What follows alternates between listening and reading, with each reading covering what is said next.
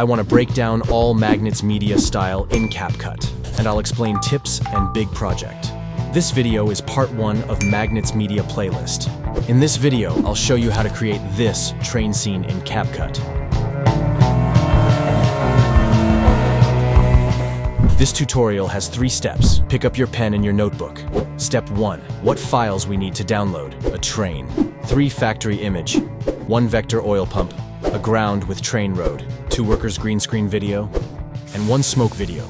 Then we should make them PNG or separate layers for animation.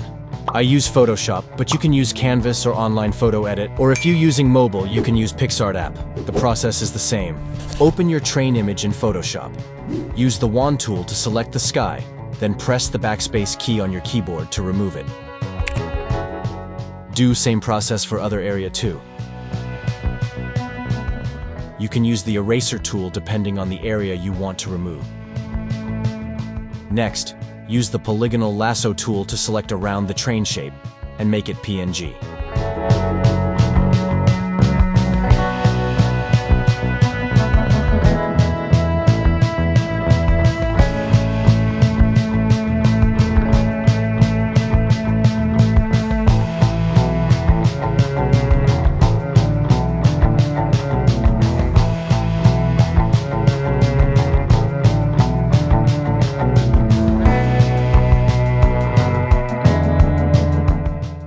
Accidentally remove an area that shouldn't be removed, it's okay. Use the lasso tool to select the same shape and line. Then go to Edit and choose the Fill option or press Shift F5.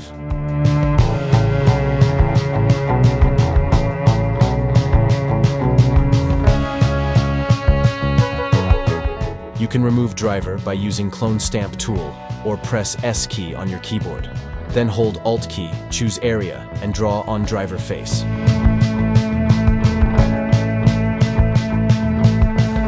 Use lasso tool once again and select around wagon.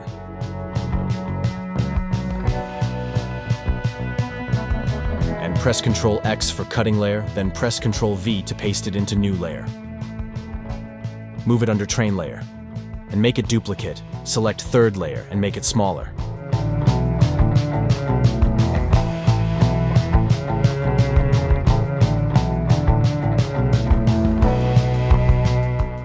Sometimes I use brush to clean up some areas.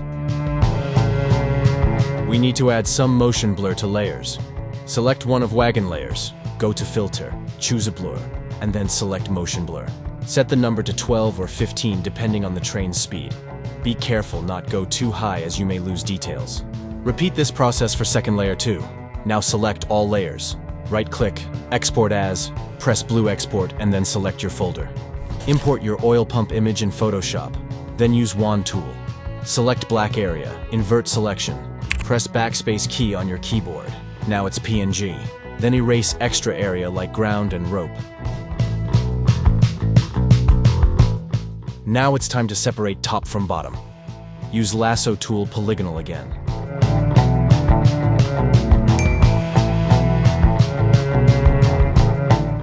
Then press Ctrl X for cutting. Now press Ctrl V to paste top pump layer into new layer. Erase extra areas. Then export layers. Now do same process for other image too. Make them PNG. Remove sky, people, or any extra object. Click the link in the description to download this tutorial files to make your own video. Step 2. Import all image into CapCut. Import your sky image to the timeline first, then rotate and scale it to fit your screen. Next, go to Modify and turn on the free layer. After that, import the factory PNGs on top of the background and increase the duration because this video is for tutorial. But if your project needs more time, increase the duration as much as you need. Then drag the ground image into the timeline and go to the basic part to scale it. If it doesn't have a very good perspective, uncheck the uniform scale and change the height and width. Changing them will help you to better perspective view.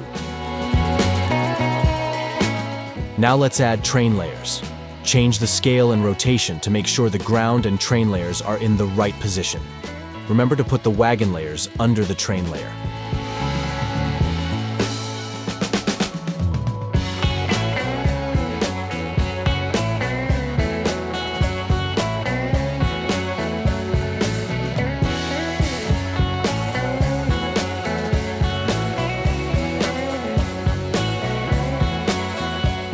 Now it's time to add some motion to the train. Go to the effects section, look for nightclub, or use the search bar. Type shake and add the camera shake to the train layer. Set the range to 1 or 2. For speed, set it between 20 and 30. For other layers, use the shake effect. Set the strength to 2 and speed between 50 or 60. Why you use two type of shake effects? Doing this because when you use one effect on all layers, they will shake in the same way. Since we want a little shake, we can't change the numbers a lot. So if you use two types of effects, like camera shake and shake effect, it shakes more randomly. That was a lot of shake words I ever said in my life. Then add a smoke video to the timeline and place it under the train layer. Make it smaller and rotate it 90 degree. Go to the basic section and change the blend mode to screen. Now, our train needs light to see the road better. In the media library, in background, scroll down to find the yellow color. Drag it onto the timeline, rotate it 90 degree and make it bigger. Then, go to the mask section and choose the circle. Make it smaller and move it to the right position. Increase the feather a little bit because it's our original light. Duplicate the light layer and scale it. Then increase the feather. To animate the light, go to the effects section in the nightclub. Add flash 2 on the glow light layer. In settings, set the strength to 10, size to 20, and speed to 40. Now, select the train layers and the smoke layer. Move them to the center of the screen. Then select the train layers and the light layers and make them a compound clip. Now we have two layers, a train layer with light and a smoke layer. Why didn't you compound the smoke layer with the train layers? Because when you do that, the blend mode will be reset, and the black screen will appear again. So, go two seconds further, select the train layer. In the basic section, make a keyframe for position. Don't move anything. Then select the smoke layer and make a keyframe too. Go to the beginning of the timeline, then select both layers and move them out of the shot.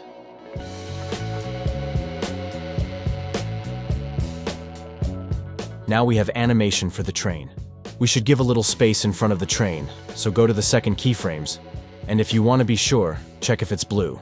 Select both layers again, and move them a little to the left.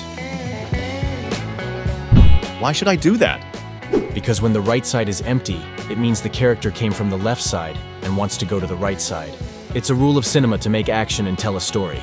To animate the train going out of the shot, go to the end of the timeline and make another keyframe at the right position for both layers.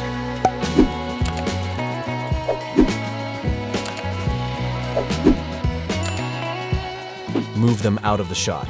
This time, it should go to the right side. Now, right-click on the train layers, show keyframe, and make the keyframe smoother by selecting Auto Curve. Do the same process for the both layers too. It should move like this. Now we should add our oil pump. Import both layers into a timeline and make them smaller. Put the top part in the right position. It should move like this. First, make two keyframes for rotation, at the beginning and end of the layer. The keyframe should have zero rotation. For the middle of the animation, rotate it. And we get something like this. Duplicate both layers and put them on the right side of the timeline because we'll need them for later. Then, make it a compound clip. Change the scale because it's near the camera and it should be bigger. Move it out of the shot and make a keyframe.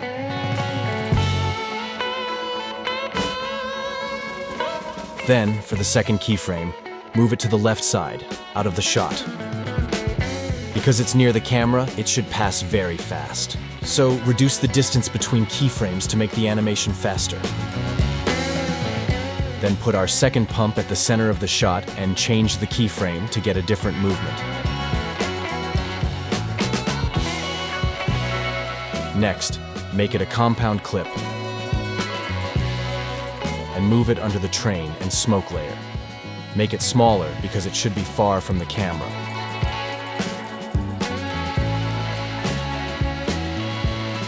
and make a keyframe for position so it moves out of the shot. It should move from the right side to the left. Remember, it should move at the same speed as the ground animation. Every time, check if the ground and other objects have the same speed or not. If they don't have the same speed, you can increase or decrease the distance between the keyframes. Duplicate the oil pump layer and mirror it, because we don't want to see repeated objects in our shot. Duplicate them again to get more of them in the shot. You can make new keyframes for position 2. Do the same process for them to get something like this. Now we should add our workers. Import one of them into the timeline, and in the crop section, choose your worker. Go to the cutout part and turn on Chroma Key. Then use the color picker to select the green color and increase the strength to remove the green color. Now, change the scale because it's near the camera, so it should be bigger. Do the same process for passing in front of the camera. Move it out of the shot and make a keyframe. Then, for the second keyframe, move it to the left side, out of the shot, and duplicate the worker layer. Move it under the train layer and make it smaller, because it should be farther from the camera. Because it's so far from the camera, it should move a little slower. So in this case, the distance between the keyframes should be more.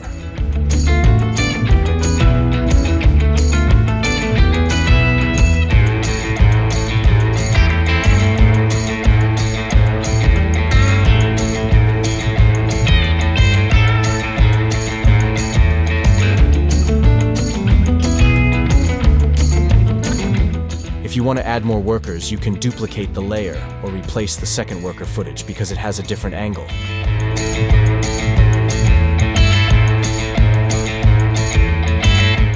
If the end of the shot is empty of objects, duplicate some oil pumps and workers and move them to the end of the timeline. Now it's time for color grading. Select the sky layer and decrease the opacity.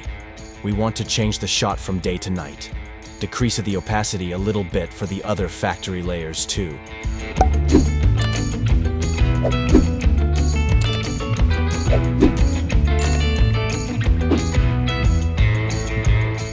In adjustment, decrease brightness and highlights to get a more nighttime scene. Do the same process for the other factory layers too.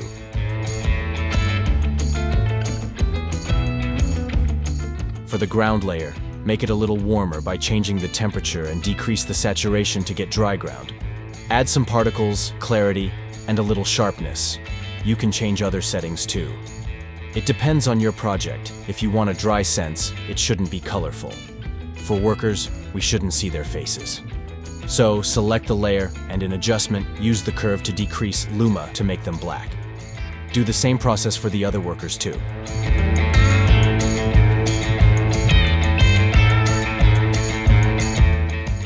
It's time to add some noise and texture footage. Put some of them between layers and change the blend mode to screen. Remember, if your project is about history, use this footage. If it's not, don't use them. But their make videos cooler. I know they are cool, but sometimes using cool effects will damage your project. And for the final touch, change the temperature, hue, and saturation to make the train warmer change the contrast and highlights to make the train pop out of the shot. Add some filters. Add candy cane. In the retro part, you can use CapCut effect too. You can use retro effects to add some noise to the shot. Use VHS 3. For the smoke, increase the temperature. Or if you want to add stop motion to the smoke layer, Add Doodle Diary. Decrease filters, texture, and stickers.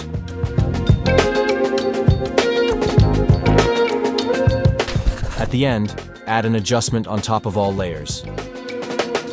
Scroll down and increase the vignette to 20 to make a shadow around the corner.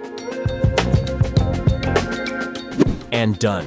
Stay tuned for the next video where we'll dive into another scene from Magnates Media. Don't forget to like, share, and subscribe for more content like this. As always, stay creative.